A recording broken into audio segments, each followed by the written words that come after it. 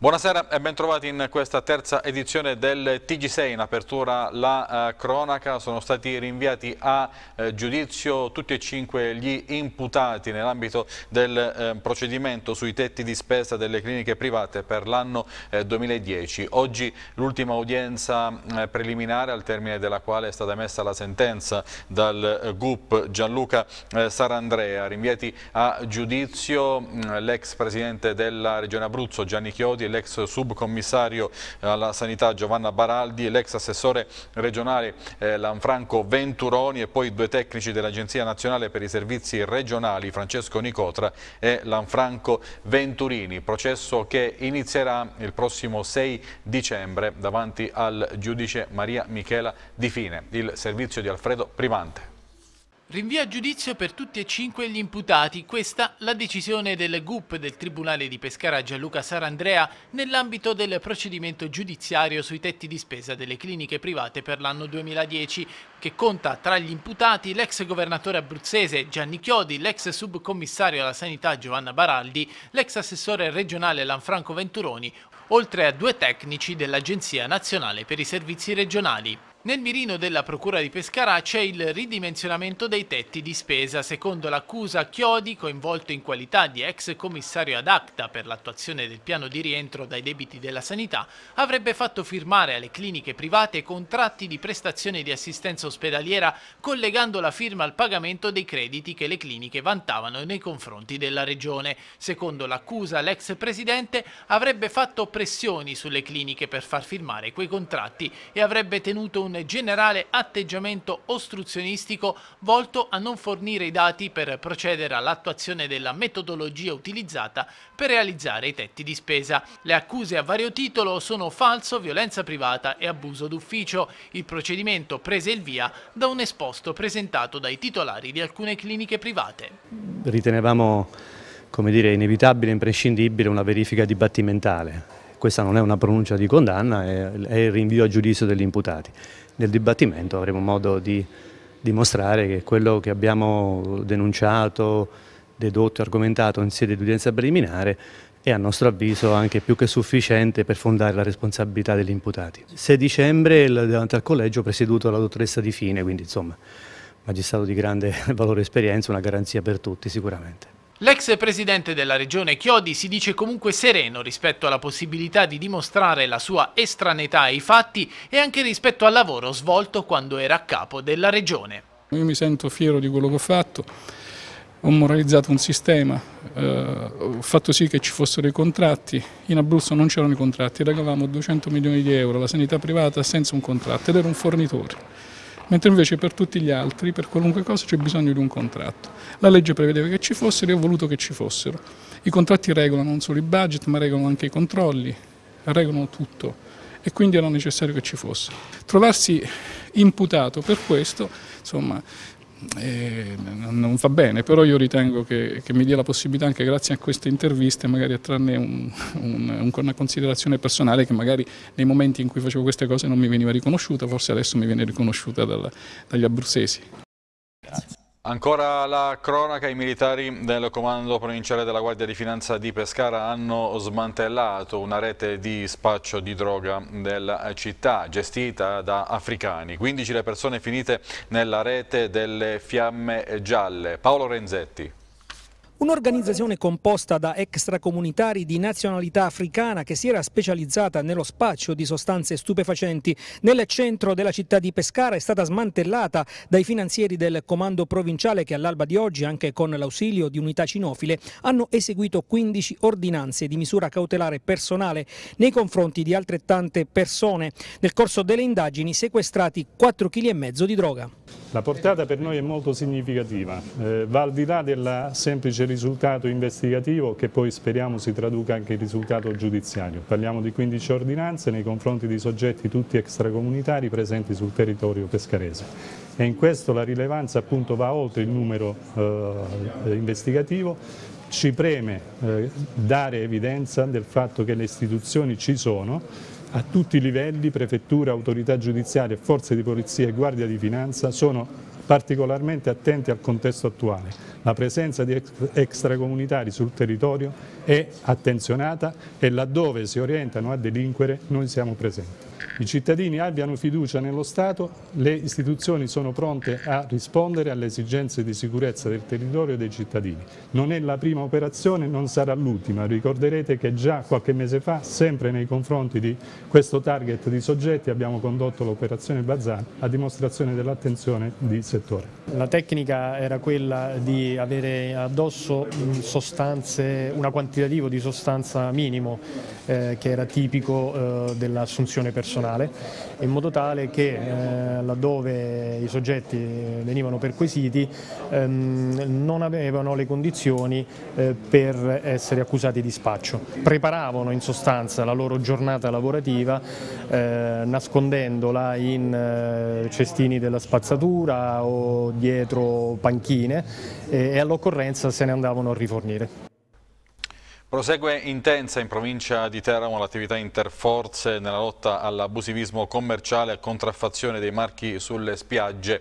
Eh, ieri ancora un controllo, in particolare ad Alba Adriatica, poliziotti finanzieri e agenti della polizia eh, municipale hanno rastrellato le zone della stazione ferroviaria, fermate autobus Pineta e alcuni tratti di spiaggia. Dieci cittadini extracomunitari sono stati bloccati nei confronti di tre di loro. È scattata la denuncia perché cercavano di vendere vendere delle borse griffate, ovviamente false. I rimanenti sono stati contravvenzionati, molta la merce sequestrata, oltre alle borse false, indumenti, occhiali ed altri articoli. I servizi avviati ai, eh, dai primi di luglio proseguiranno fino alla fine della stagione estiva.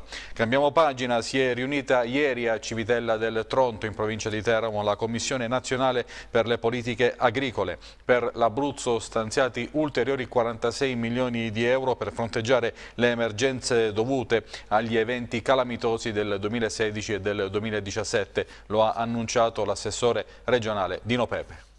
Siamo a Civitella del Toronto, luogo simbolo delle emergenze 2016 e 2017, terremoto, neve, mancanza di energia elettrica. Abbiamo l'onore di ospitare la Commissione Politiche Agricole Nazionali con il coordinatore e l'assessore di Gioia della Regione Puglia e tanti altri colleghi che hanno voluto con forza questo appuntamento qui a Civitella del Tronto. Si presenterà il fondo di solidarietà, 300 milioni di euro a disposizione delle quattro regioni colpite, Abruzzo, Marche, Umbria e Lazio. Sono a disposizione queste risorse per cercare di sostenere con forza le aziende agricole colpite dalle varie emergenze. L'Abruzzo avrà a disposizione disposizione 46 milioni di euro aggiuntivi al piano di sviluppo rurale, quindi avremo sostanzialmente 480 milioni da destinare alla nostra regione, in maniera particolare alle aree colpite dal terremoto.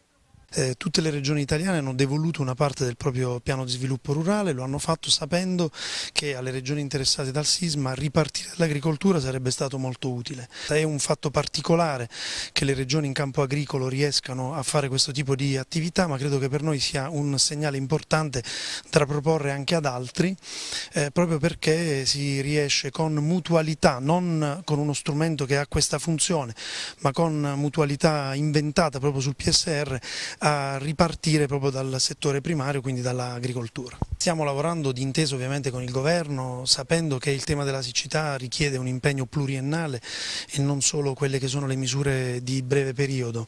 Eh, lo si fa con la consapevolezza che nei prossimi anni avremo sempre più a che fare con questo tema, c'è bisogno di investimenti, c'è bisogno di un razionale utilizzo eh, dell'acqua, dell c'è bisogno di solidarietà anche lì tra le regioni che eh, spesso sono nella condizione di aiutare eh, le, le regioni che sono semmai vicine o che hanno eh, caratteristiche differenti, quindi con un meccanismo che porti però anche poi al ristoro dei danni perché non si può lasciare sui nostri agricoltori tutto il peso di una mancata programmazione semmai nel tempo o della difficile questione climatica che poi in questo periodo sta diventando molto acuta.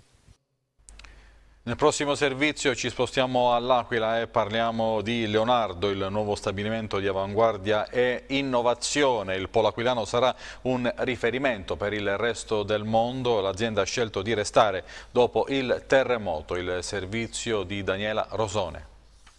All'Aquila arriva Leonardo, 4.500 metri quadri per 140 dipendenti. Nella regione Abruzzo questa società è già presente in realtà con altri due centri di eccellenza a livello internazionale, quello di Chieti dedicato alla cyber security e il centro spaziale del Fucino di Telespazio per un totale di circa 850 dipendenti. Dopo il terremoto del 2009 l'azienda è intervenuta mettendo in sicurezza gli edifici gravemente danneggiati del vecchio stabilimento, ricollocando temporaneamente i dipendenti all'interno del Tecnopolo Aquilano. Questa operazione ha consentito di tutelare i posti di lavoro, mantenere attiva la produzione, garantire gli impegni con clienti e fornitori. Leonardo ha poi acquisito le aree industriali, completando la realizzazione dei nuovi stabilimenti e della mensa per il personale. Il nuovo sito è realizzato in parte con fondi dell'azienda e in parte con fondi comunitari tramite un bando regionale. È costato circa 8 milioni di euro. Le attività sviluppate nel nuovo stabilimento riguardano la progettazione e la certificazione di sistemi di identificazione installati a bordo di aerei, sia militari che civili, e di apparati per le comunicazioni avioniche. Credo che in un mondo come questo che è caratterizzato oggi da profonda insicurezza è evidente che l'industria della difesa ha assunto un ruolo, un'importanza particolare e maggiore di quella del passato, in particolare la parte tecnologica, quindi è un'industria a cui il mondo della difesa si rivolge ma si rivolge anche stante i pericoli che fanno parte del nostro mondo. Leonardo nel campo dell'identificazione è un leader europeo con significativi contratti acquisiti in numerosi paesi, tra cui Italia, Regno Unito, Svezia e Giappone. Le prospettive di mercato sono importanti. Entro il 2020 infatti tutte le nazioni della Nato dovranno adeguare i propri sistemi di identificazione al più recente standard tecnologico degli apparati sviluppati da Leonardo all'Aquila. È un bellissimo segno di una rinascita che non si ferma qui per la verità, perché ho visto ancora una selva di gru arrivando, vengo spesso per la verità, quindi non è che l'ho visti con meraviglia e sorpresa, ma vedo che dopo qualche anno di polemiche e di stasi eh, l'Aquila ha ripreso a camminare, anzi a volare e questa inaugurazione di oggi è un segno che al di là della ricostruzione delle case, dei monumenti, delle chiese, bisogna ricostruire quel tessuto produttivo che ridia slancio e vitalità all'economia dell'Aquila e della zona. E a Montesilvano completata la giunta guidata dal sindaco Francesco Maragno con l'ingresso di Manola Musa alla quale verranno conferite le deleghe all'urbanistica e alle politiche sociali e il ritorno di Paolo Cilli che si occuperà eh, del settore delle manutenzioni dei servizi e dell'igiene urbana. Siamo stati eletti per amministrare nell'interesse della collettività, ha affermato il primo cittadino Francesco Maragno. Abbiamo deciso per questo di condividere punti programmati programmatici che consentono alla città di godere di un'azione di governo proficua. Con la rinnovata unione del centrodestra, aggiunge il capogruppo di hashtag Montesivano 2019 Anthony Agliano, ognuno eh, di noi potrà dimostrare di aver meritato la fiducia conferitaci eh, nella scorsa tornata elettorale. Superando ogni incomprensione faremo fronte comune contro illegalità e degrado per garantire sicurezza e migliorare la qualità eh, della vita della nostra comunità. Al posto di Manola Musa entra in Consiglio Comunale Aurelio Cilli. Andiamo avanti a Cagnano Amiterno in provincia dell'Aquila c'è preoccupazione per le sorti del cementificio che potrebbe bruciare i eh, rifiuti. Non esiste un piano industriale, soprattutto ci saranno problemi per la salute, questo si chiede alla popolazione. A Cagnana Miterno c'è molta preoccupazione nella popolazione e nelle famiglie dei lavoratori del cementificio Sacci. Esiste una legge regionale infatti che autorizza i cementifici a bruciare nei loro forni i CSS, combustibile solido secondario, cioè di fatto rifiuti solidi urbani. Questo a Cagnano non accade ancora, ma solo perché va adeguato il forno, ma le remore della popolazione sono diverse. Ci si deve adeguare al mercato e alla concorrenza, ma il lavoro sarà salvaguardato comunque? E la salute? La Regione nel 2015 ha già autorizzato di fatto questa attività, fino al 2027. La prima stortura, perché una legge dice chiaramente che dal 2020 non si potranno più bruciare rifiuti. La Regione poi ha un piano industriale ben definito?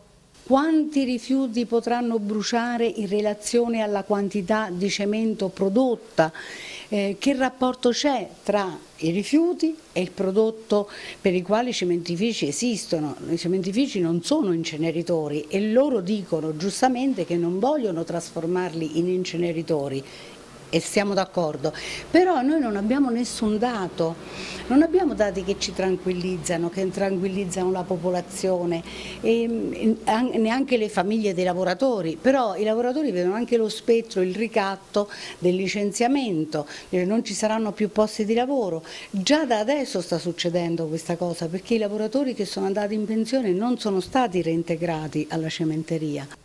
E inoltre c'è un problema di salute. Altre regioni hanno evidenziato già l'aumento dell'incidenza dei tumori nella popolazione, ma questo non lo ha fatto la regione Abruzzo e non lo farà, non avendo un registro tumori per mancanza di fondi.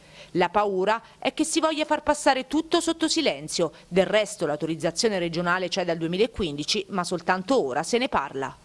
Per quanto riguarda la Regione Abruzzo noi abbiamo dei problemi, non funziona la, il registro tumori, loro eh, registra la, la, Regione Abruzzo una carenza cronica dei fondi per eh, un registro tumori esaustivo e, mm, e, ben documentato. Abbiamo interesse a fare in modo che la nostra valle sia bella, pulita, il polmone verde d'Europa, le dico di tutti i colori e poi dopo cosa facciamo? Inquiniamo. Un'altra cosa molto importante domande dove prenderanno l'acqua che il fiume Eterno è in secca?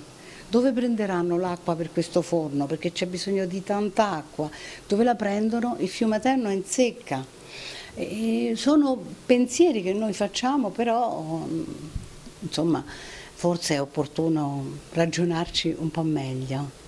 I carabinieri della compagnia di Giulianova hanno arrestato per eh, furto in flagranza di reato un 43enne di eh, Cerignola in provincia di Foggia. Leonardo Zingarelli, dopo essere entrato in un'azienda dire di Giulianova, si è impossessato di un autocarro Renault 150 e si è allontanato a bordo del mezzo transitando dinanzi al proprietario che si trovava in un bar eh, vicino. È stato lui stesso a chiedere l'intervento dei carabinieri dando utili informazioni ai militari per individuare l'uomo uomo che nel frattempo aveva imboccato l'autostrada 14. Il mezzo è stato rintracciato alcune decine di chilometri oltre il casello di Mosciano Sant'Angelo in direzione sud e fermato in una piazzola di sosta.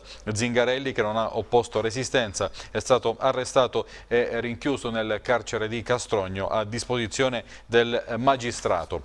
E domani, venerdì 28 luglio, causa la necessità urgente di sostituire alcune saracinesche della condotta idrica denominata Vecchio Tavo di via Valle Furci a Pescara, eh, si eh, rende necessaria la sospensione temporanea della fornitura eh, idrica in alcune vie della città di Pescara, via Colle Caprino, via Valle Furci, eh, strada Valle Ferzetti, strada vicinale Valle Ferzetti. Lo comunicano Comune di Pescara e H. La sospensione L'operazione della fornitura idrica comincerà alle ore 8.30 con durata presumibile fino alle ore 16 salvo complicazioni in eh, fase di realizzazione dei lavori. Inoltre non si possono escludere dei cali di pressione su altre vie adiacenti.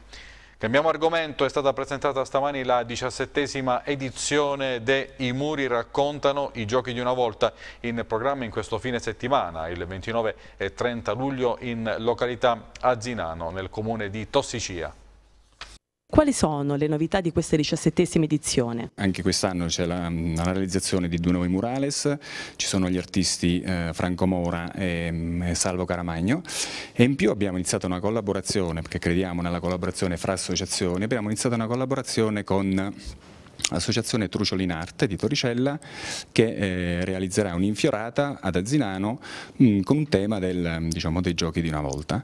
In più quest'anno intendiamo promuovere in maniera più consistente ehm, quello che stiamo facendo già da anni, cioè quindi la raccolta della, dai fiori di lavanda, facciamo dei sacchettini ehm, che sono stati lavorati, cuciti, eh, ricamati a mano dalle signore del paese durante l'inverno e ovviamente le venderemo per, eh, come dire, per autofinanziamento, per finanziare le nostre attività. Malgrado appunto eh, l'andamento di un'annata molto particolare, non è mancata la, la, forza da parte degli abitanti di Azinano con il supporto dell'amministrazione comunale, del BIM, ehm, di eh, appunto realizzare anche quest'anno eh, due murales. E molte sono le iniziative che la Proloco porta avanti anche durante l'anno, eh, in ultimo, insomma, negli ultimi periodi c'è stata la collaborazione con il MIBACT eh, in una manifestazione a Roma che ha coinvolto i borghi eh, autentici d'Italia e a breve ci sarà una convenzione eh, tra il MIUR, eh, la Regione Abruzzo, la Proloco di Azinano e il Comune di Tossicia affinché questo borgo sia sempre più visitato dalle scolaresche che ehm, inseriranno nei propri eh, programmi didattici proprio una visita a questo borgo dipinto.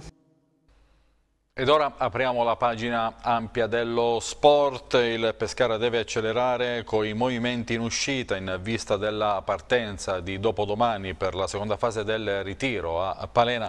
Zeman vuole una rosa più snella per lavorare meglio e inserire qualche altro calciatore idoneo al suo progetto tecnico. Vediamo.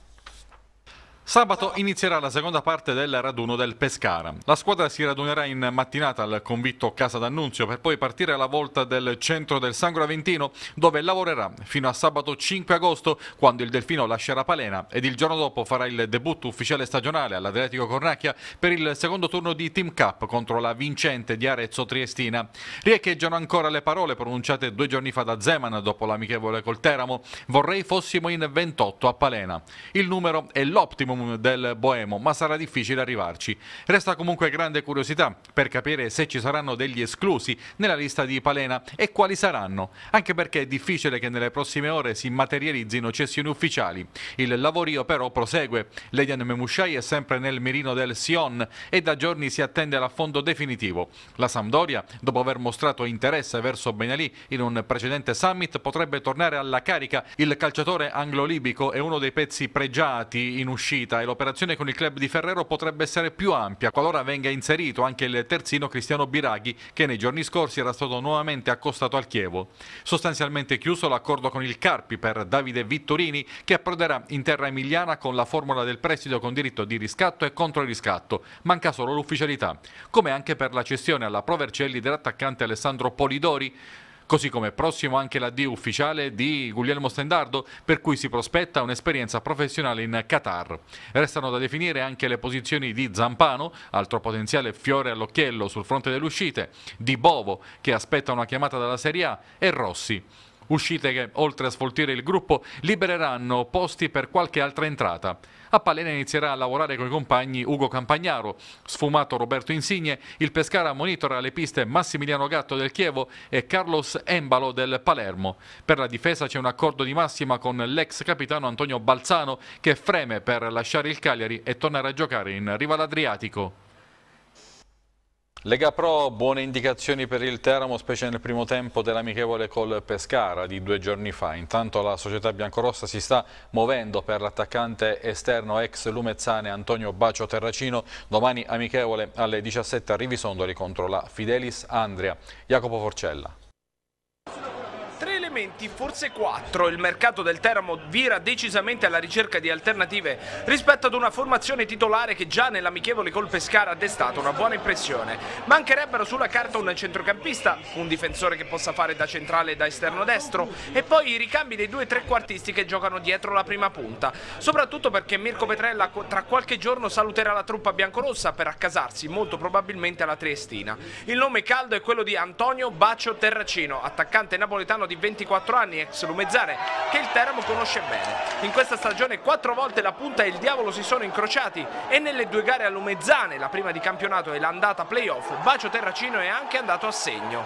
Sarebbe l'ideale per giocare con Tullio Fratangelo dietro la prima punta. Già oggi potrebbe esserci un contatto visto che il calciatore è svincolato dopo la retrocessione dei Lombardi, proprio nello spareggio col Teramo. Intanto Foggia e Fratangelo analizzano proprio gli equilibri offensivi dopo l'amichevole col Pescara, aspettando quella di domani alle 17 a Rivisondoli contro la Fidelisandria. Ma sì, insomma noi giochiamo con eh, un tipo di gioco che appunto fa, ci fa sfruttare le nostre qualità che abbiamo, no?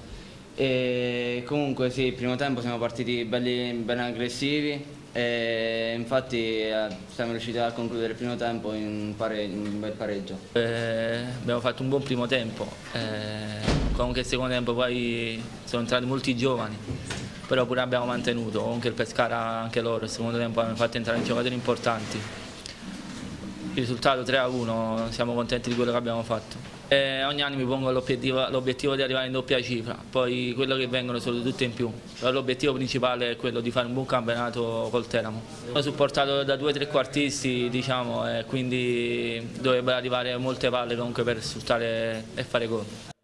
E ora scendiamo in Serie D, in casa Pineto conferma per il tecnico Daniele Amaolo, l'allenatore ha come obiettivo quello di migliorare il risultato ottenuto nello scorso campionato, il servizio di Roberta Di Sante. Mister Amaolo pronti per una nuova avventura, una squadra quasi completamente rivoluzionata quest'anno. Sì, inizia la nuova stagione con una squadra praticamente nuova e quindi avremo bisogno di questo periodo eh, di preparazione per trovare un po' l'equilibrio e l'assemblamento giusto per l'inizio del campionato. Quindi eh, partiamo eh, con umiltà, con la consapevolezza che c'è da lavorare per cercare di fare meglio della passata stagione. Abbiamo dietro una società forte alle spalle che sicuramente ha fatto del tutto per, fare, per mettere su una squadra competitiva e da parte nostra cercheremo di dare il massimo per questa società.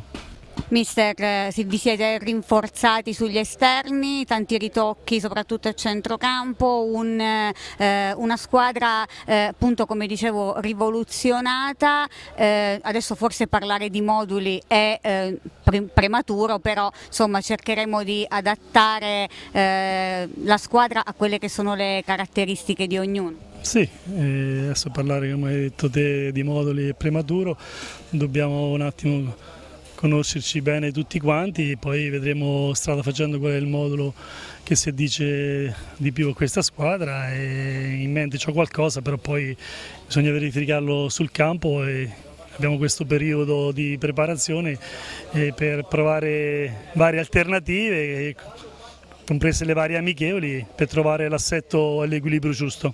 Dare un giudizio adesso sul girone sembra prematuro, poi dopo... Eh diciamo, non, secondo il punto di vista no, non è importante il girone cui andremo, per cui andremo a giocare, sicuramente saranno tutti gironi come è da sempre in Serie D ci saranno gironi di Serie D, sono gironi equilibrati, bisogna eh, interpretarli bene a prescindere di chi, di chi hai di fronte, c'è da giocare tutte le partite senza nessun risultato scontato, quindi a prescindere dal girone sicuramente ci sarà ogni domenica un equilibrio in campo e poi verrà interpretata bene ogni partita per far sì di raggiungere un obiettivo che uno si è prefissato.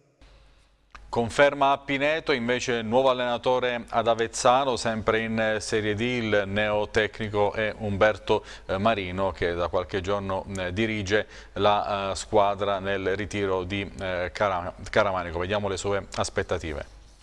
A distanza di due anni Umberto Marino torna ad allenare in Abruzzo da Chieti ad Avezzano, si parte nella Marsica con grandi ambizioni, preoccupato per le richieste della società e del presidente Pares?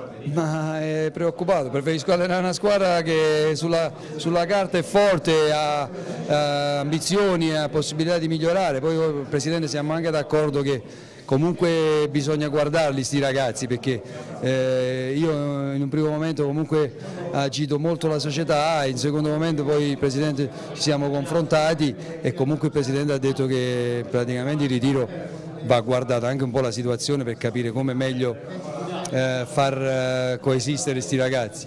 Tanti grandi giocatori ad Avezzano è arrivato anche nelle ultime ore un altro eh, giocatore che potrebbe fare la differenza nel prossimo torneo, Pellecchia. Sì, è un giocatore in cui io credo molto perché ha espresso le sue qualità al 10%, se, a dir tanto, quindi spero che di potergli, fa, potergli, dare qualcosa a livello mentale, a livello di, di, di, di, fargli tirare tutto quello che ha fuori perché è veramente un giocatore che, che è stato uno, uno spreco del, del calcio. Cosa ha spinto Umberto Marino ad accettare eh, le proposte dell'Avezzano? Tra l'altro lei è stato per sette anni storico vice di ehm, Ivo Iaconi e dunque conosce bene la nostra regione, arriva in una piazza comunque importante e con un presidente esigente. Esigentissimo mi hanno detto, però eh, io sono più esigente del presidente, lui lo sa, lui mi chiama alle 7 di mattina, io lo chiamo alle 7.05 e siamo così tutti e due, siamo due, c'è sintonia tra di noi, poi è normale che i risultati